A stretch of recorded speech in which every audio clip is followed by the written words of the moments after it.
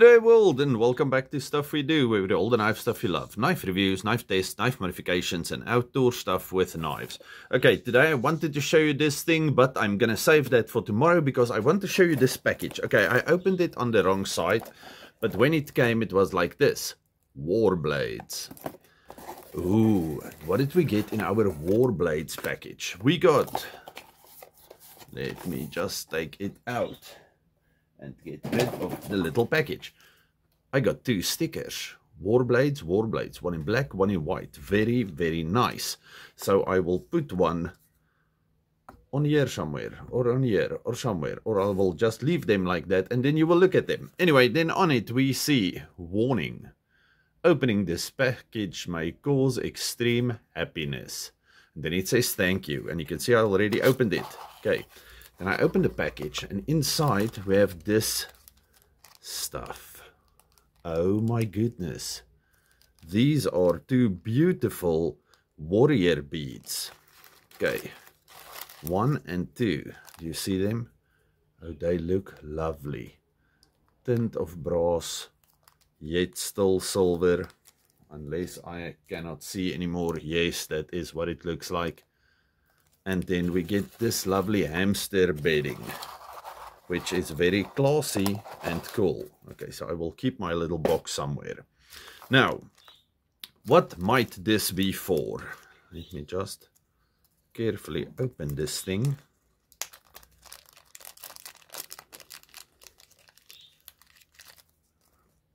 And this is what this looks like. This little Spartan helmet. Does that look familiar? Does the name Warblades sound familiar? Have you ever seen that little picture? Have you ever seen this wonderful knife? Frame lock, titanium, Elmax blade. Wonderful. Nice clip. Go check out the full video on this. The Warblades Warrior. Lanyard dull, lanyard bead. Now I need to put it together to show you just how marvelous this is. Oh, that is a fantastic knife, a fantastic bead. Let's put them together. Okay, I wanted to use this, which is a thinner paracord, because the hole on the back of this is not big enough for normal thick paracord. But then I decided, no, it's going to look skimpy with this awesome thing. So I took a piece of leather. Okay, so let's take this piece of leather and just give it a loop. Sorry, I'm doing this away from the camera because I cannot see that side. Let's see. So we have a just a normal, what do we call this, overhand knot over here. Just like that. Then take this thing thread it in like so. Now need to make another knot.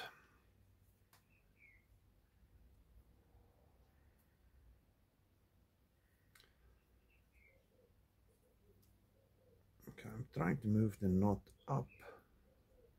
Okay, now I'm rolling things and the knot is looking quite horrible.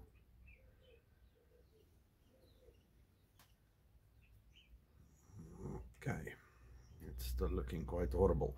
Anyway, as soon as I figure out my knot situation, it's going to look something like that. And then I'm just going to cut that off. Let's see if that works. Okay, so this is what this thing looks like now. It's two knots with my bead in there. Yes, I know I'm the worst at doing these things, but I still think that looks quite cool. Okay, so I will cut off these rat tails and then I will have this awesome bead on this awesome knife. There we go. Warblade Warrior with my warrior bead on it. All of you, stay safe, happy, have a good one. Goodbye.